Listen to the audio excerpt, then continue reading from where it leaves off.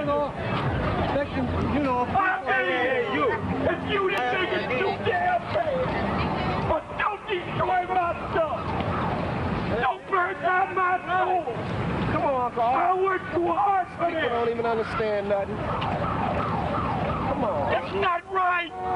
It's not right. It's not right what y'all doing. I came from the ghetto too. Same as all of you did. Y'all need to listen. But you know, y'all, y'all mess up my business. And you call it black power. Uh, you mad at the white man. Why destroy my business? Why destroy my truck? Why steal my computer? I'm trying to make it. Could you understand that? Can't y'all see it? I'm trying.